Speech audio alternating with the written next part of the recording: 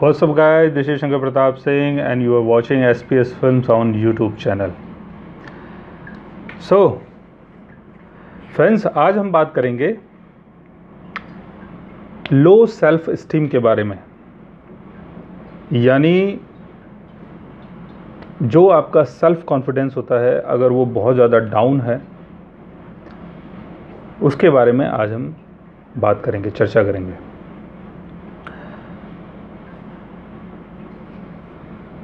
Confidence का down होना, ये एक प्रकार का पर्सनालिटी डिसऑर्डर है।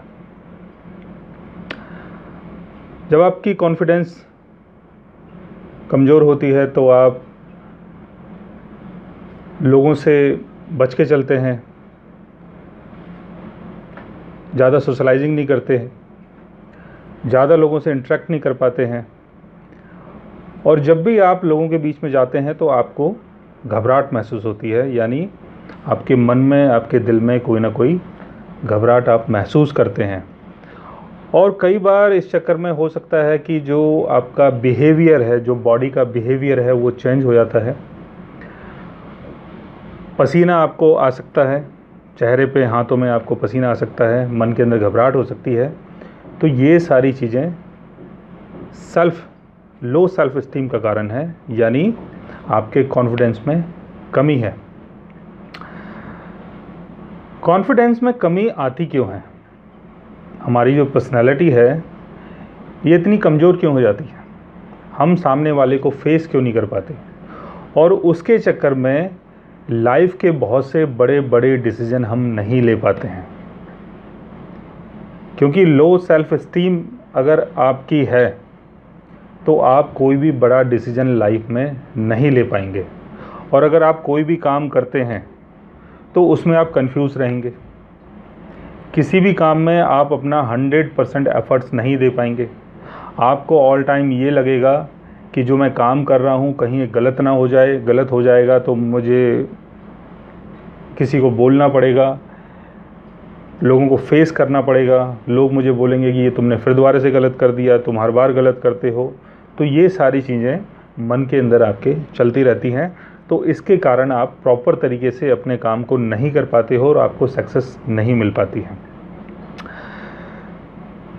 तो ये जो आपका कॉन्फिडेंस लेवल जो घटा है, ये क्यों घटा है? इसका रीज़न क्या है?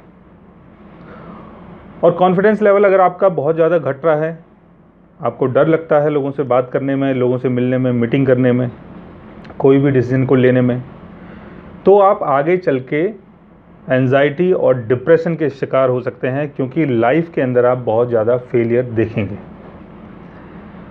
तो इसमें बहुत सारे लोग जो हैं आगे चल के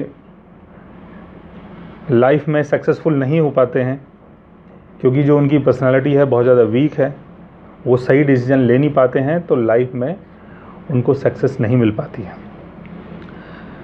तो इसके रीज़न को हम जानने की आज कोशिश करेंगे। एक्चुअल में पर्सनालिटी है क्या? हमारे बर्थ चार्ट में पर्सनालिटी कौन से हाउस से संबंध रखती है? आपका जो फ़र्स्ट हाउस है, यानी लगना, उसका संबंध है आपकी पर्सनालिटी से, आपके और से, आपके कॉन्फिडेंस से, आपके परफॉर्मेंस से। जो भी सोसाइटी को, समाज को आप दिखाई देते हैं, वो अपने लगन के अकॉर्डिंग दिखाई देते हैं। जैसा भी आपका लगन है, वैसा ही आप सामने वाले को दिखाई दे रहे हैं। अगर आपका लगन वीक है तो आप वीक दिखाई देंगे। अगर आपका लगन स्ट्रांग है तो आप स्ट्रांग दिखाई देंगे। लगन अगर वीक हो गया तो लो सेल्फ स्टीम आपके अंदर आ जाएगी।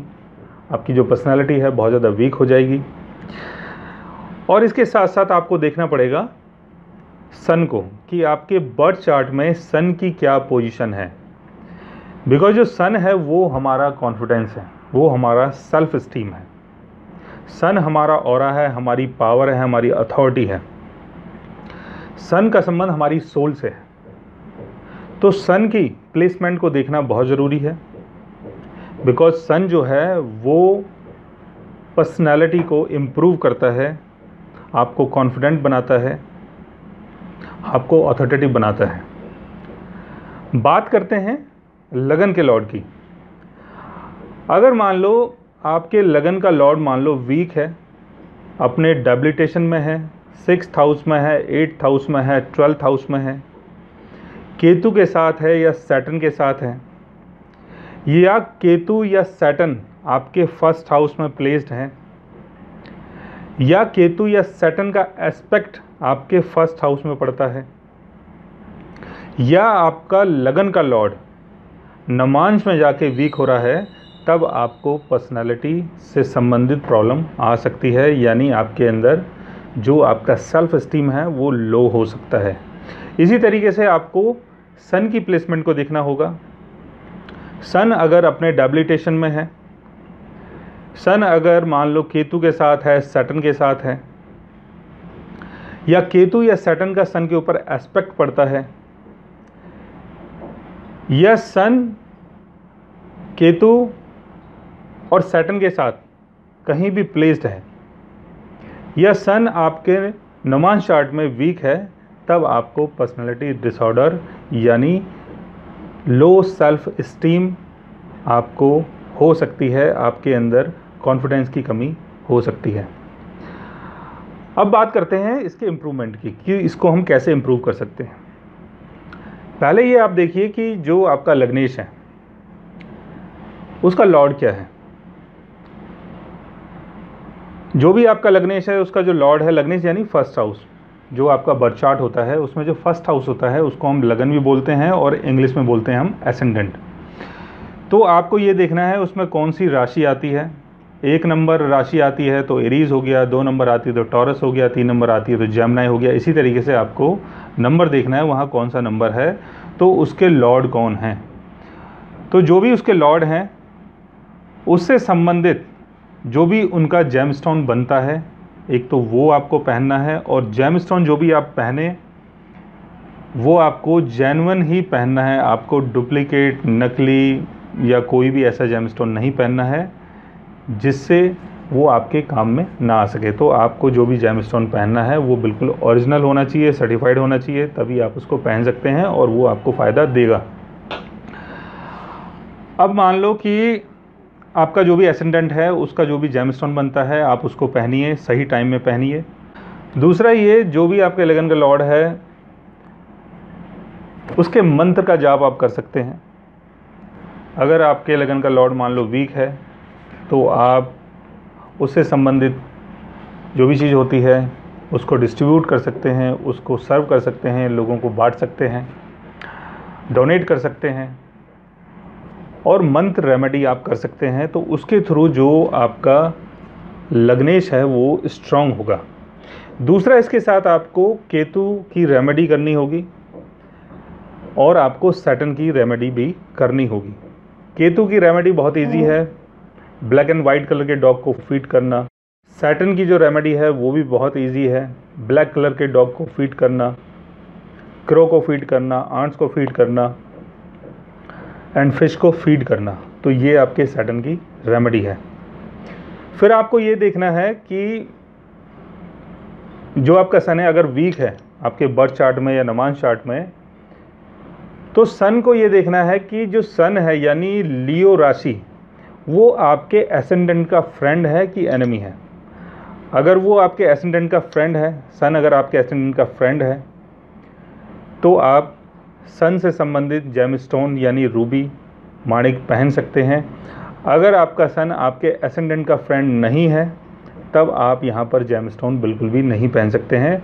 आपको अपने सन को मंत्रों के द्वारा इम्प्रूव करना होगा। दूसरा, कुछ खाने की चीज़ें हैं जिससे आपका सन स्ट्रांग होगा।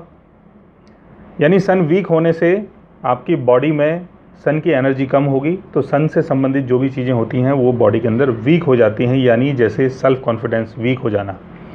तो उसके लिए आप कोई भी अगर फ्रूट्स खाते हैं, वो रेड कलर का हो, कोई भी अगर आप मान लो वेजिटेबल यूज़ करते हैं रेड कलर की जो भी चीज़ें होती हैं, जैसे आपका टमाटर हो गया, चुकंदर हो गया, इन सब चीज़ों को आप अपने डाइट में यूज़ कीजिए।